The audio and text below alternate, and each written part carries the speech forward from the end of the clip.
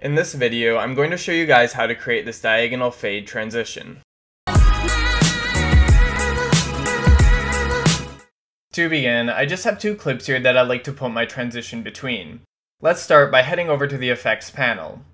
Go to Video Transitions, Wipe, and then scroll down to the regular wipe effect. Drag it between your two clips. If it doesn't fit like mine, that's alright, we'll fix that next. Select the transition you just added and go up to Effect Controls. Change its speed to last for 1 second. And also switch the alignment to center at cut. Then click the top left corner arrow so that our wipe is diagonal. Back down on the timeline, we need to duplicate our first clip. To do this, hold down the Alt key while dragging the first clip up onto the track above. Cut the clip at the start of the transition. Then delete the footage before the cut. Now you have a couple choices here on how to extend your clip based on your footage. If like me, you already made a cut at the end of your footage, you can just extend your duplicated clip to match the length of the transition.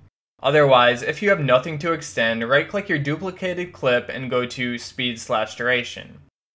Change the speed to 50% and hit OK.